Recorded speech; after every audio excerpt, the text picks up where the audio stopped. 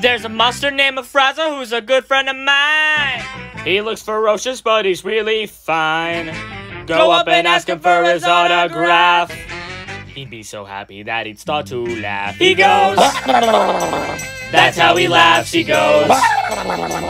That means he's glad he goes.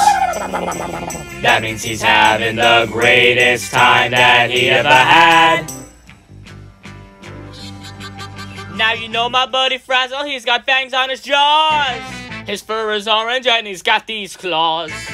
He looks so mean that he can scare a crowd.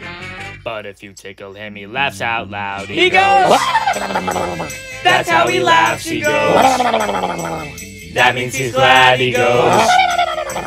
That means he's having the greatest time that he ever had.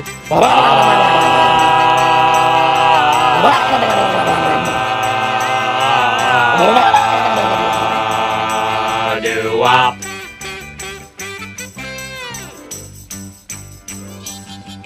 Mr. Frazzle has emotions like the rest of us too. Sometimes he feels low down and ugly too. And, then, the tears begin to fill his eyes.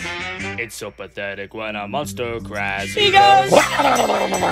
That's how he cries. He goes. That means he's sad. He goes. That means he's having the lowest time that he ever had. That means he's hungry. That means he's hot. That means he's sleepy.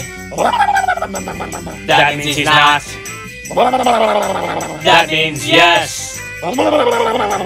That means no. That means thank you for the dinner, but it's getting very late now I really must go. Ah.